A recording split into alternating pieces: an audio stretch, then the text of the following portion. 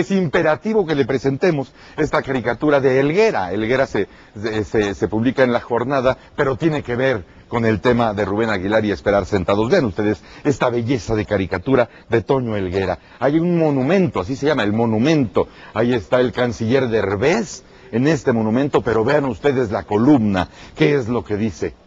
Al prócer que aguardó sentado en defensa del honor nacional. Atentamente, la patria agradecida. Es una maravilla de caricatura de Toño Elguera. Y ahora vamos rápidamente al Universal. Aquí tenemos el Universal, señoras y señores. Esta es la primera plana. Y mire usted,